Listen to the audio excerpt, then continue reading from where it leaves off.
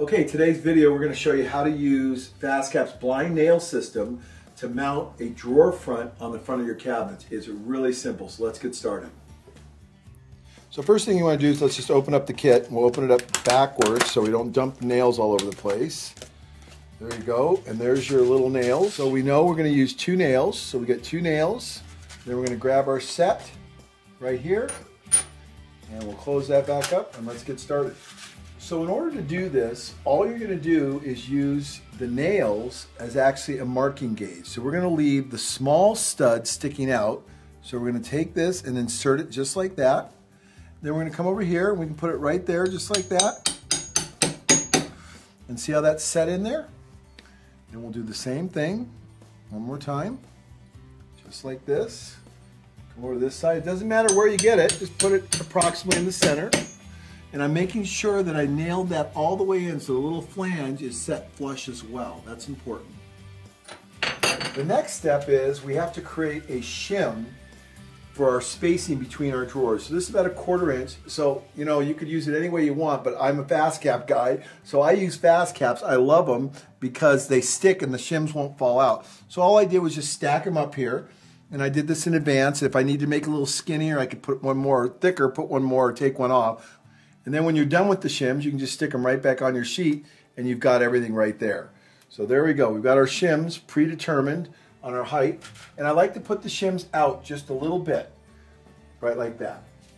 The next step is to take our drawer front. So here we've got our drawer front right here. We're just gonna take it up there and hold it up there and set it on those shims. And you notice we got our spacing perfect. We're gonna make sure we're lined up side to side, right on the money. Just like that.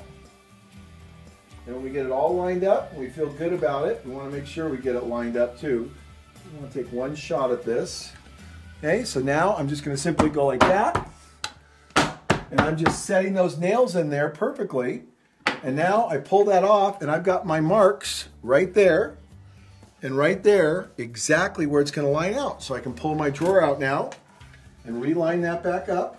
So I've lined up one side and then you can just feel it. It just drops right into place very easily. See how easily that drops into place? So the alignment's fast and easy. There's no question about anything.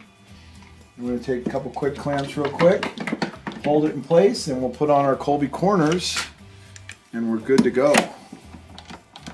Just like that. So we're good to go. Okay, so next step, Kolbe Korners. So we put on our Kolbe Korners, and I'm going to go ahead and catch the drawer front first. So notice we have our screws right up here on top of the pro hole. Makes it really easy. And come in there. Now we're just going to attach the back side. This time I'm going to put it a little bit towards there so it pulls it back.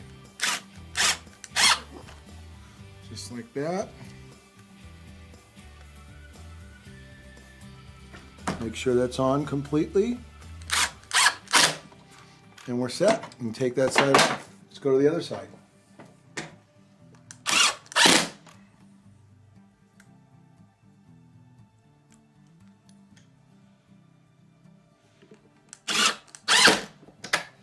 of course, we have a little bit of adjustment here with the Kolbe Korners up and down, and we should be able to tap that nail, the blind nail, whatever direction we need to tap it, in the event it needs to move a little bit, but the blind nail should get it in there just perfect. Okay, we're done. Take the clamps off. Go ahead and push the drawer back in. We'll pull out this drawer, pull off our little caps and our spacers. And we'll take a look and see how the blind nail system did. There you go. Everything's lined up perfect. First time, no adjustment, Kolbe Korners, what a great system. That's the blind nail system from FastCap and FastCap's Kolbe Korners.